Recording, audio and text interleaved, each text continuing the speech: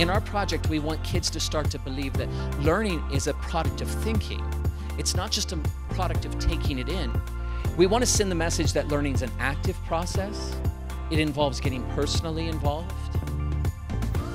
It's hard to really do good thinking unless there's something for me to be invested in. And we also want to send the message that questions, questions not only drive learning, but often when good learning has happened, you know that because the nature of the questions have changed. So here are my three strategies uh, to simplify for today.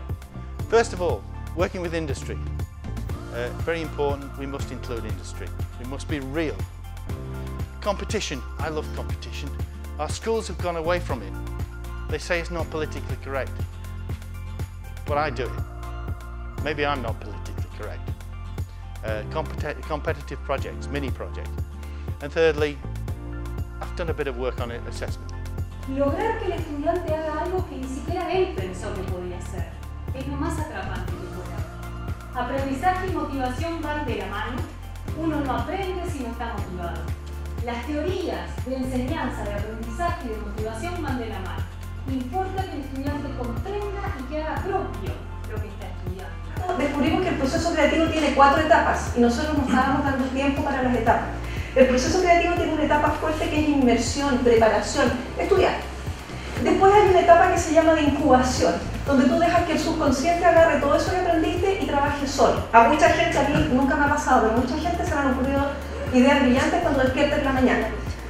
Después hay un proceso de iluminación, y descubrimos que le pedíamos a los chicos ideas brillantes, pero no le dábamos ninguna herramienta para que tuvieran ideas, habiendo métodos de generación de ideas.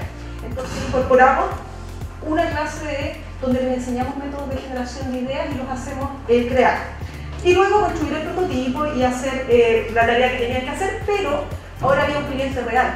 Así que la diferencia es que esta evaluación no la hago yo, la hace el cliente, que es un poco lo que mencionó Ricardo en la mañana. Si es algo que voy a hacer para niños de 10 años, los niños de 10 años ponen la nota, no yo. Estamos en colaboración con la Universidad de Harvard, vamos a dictar un ramo que dicta Harvard, que es para los especialistas, que está orientado en la experiencia del estudiante y vamos a trabajar eh, en detectar cómo ayudarlos con estrategias de aprendizaje. El fenómeno de la deserción es muy difícil de predecir porque hay diferentes razones detrás de la deserción. Nosotros partimos con el fin de poder eh, eh, predecir tempranamente qué alumnos se nos, se nos, van a ir o qué alumno está presentando problemas y nos costó mucho al principio porque hay muchos fenómenos y llegamos a definir que son los alumnos que reprueban la misma asignatura el primer semestre el segundo.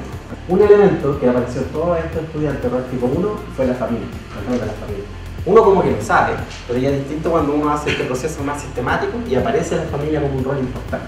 Esto también aparece en todos, en todos los estudiantes, que en algún minuto ellos hacen un proceso de, de, exploración personal y de, auto, de autoconocimiento, diríamos nosotros, en que detectan de cuál es la manera que a ellos mejor les funciona para estudiar.